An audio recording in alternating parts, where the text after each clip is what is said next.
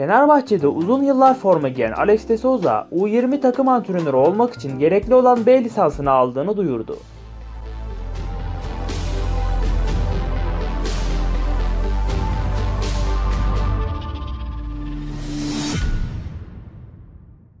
Alex de Souza, U20 antrenörü olabilmek için gerekli olan B lisansını aldığını şu sözlerle duyurdu.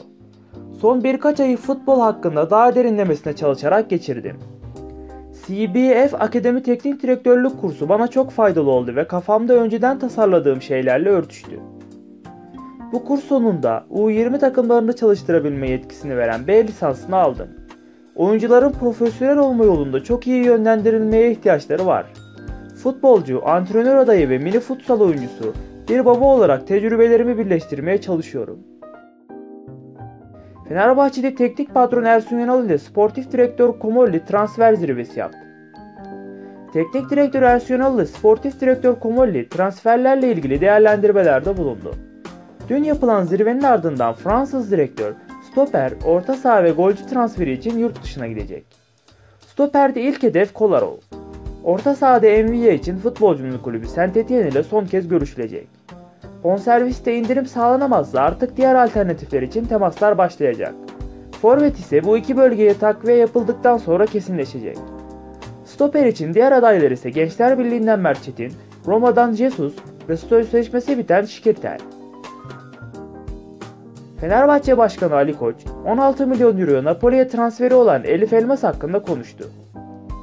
Fenerbahçe Başkanı Ali Koç, Yüksek Divan Kurulu toplantısında Elif Elmas'ın Napoli'ye gitmesi hakkında konuştu.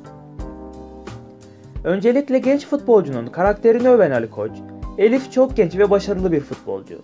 Disiplinsiz olmayan, bu forma altında görmek isteyeceğimiz karakterde olan bir futbolcu sözlerini kullandı. Ali Koç, 19 yaşındaki oyuncuları Elif Elmas'ın İtalyan ekibi Napoli'ye transferi ile ilgili şunları söyledi. Elif Elmas konusunda eski yöneticiler de ortadı. Federasyon ziyareti falan yapıyorlar. İlgiyle izliyorum. Onlara da bir iki lafım olacak. Elif çok genç bir yaşta büyük işler başardı. 18 yaşında Fenerbahçe A takımının formasını sürekli giydi. Meziyetini de hafife almayan, gençliğin verdiği duygularla disiplinsiz davranmayan, her daim bu formayla görmek istediğimiz karaktere sahip, geleceği çok parlak bir futbolcumuz. Onun yolu açık, şansı bol olsun. İnanıyorum ki kulübümüze de iyi şekilde temsil edecektir. Ciddi bir transfer kaynağı elde ettik. Bu satışı yaptık. Yine hedef haline geldik. Arkadan iş çeviriyormuşum. İş ilişkilerim ile Napoli kulübüne para veriyormuşum. Bu şeylerin sonu yok. Transferinde emeği geçen, kendisine şans veren, gelişimine katkı sağlayan başta Filip Koku ile Ersun Yanal'a ve yüksek bedelle satılmasını sağlayan, pazarlıklarda bulunan Damien Komolli'ye ve Selahattin Baki'ye emeği olan herkese teşekkür ediyorum.